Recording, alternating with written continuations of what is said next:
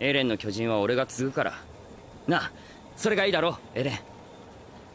コニよくないですよ。あなたはバカなんですよ。え？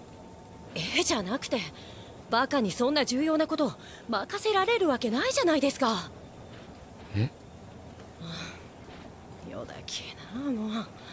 私が継ぎますよ。実戦経験もあって信頼できるのも私たちくらいなら消去法で私しかいないじゃないですか。お前ら。セレレンよ。セレレンじゃけどね。いやえそれはおかしいだろ。え？いやだからバカには任せられないってお前が言ったんだろ。お前は俺よりもバカなんだからお前言ってることが矛盾してるんだぞ。え？俺はお前らに継承させるつもりはない。なんでだ？お前らが大事だからだ。他の誰よりも。だから長生きしてほしい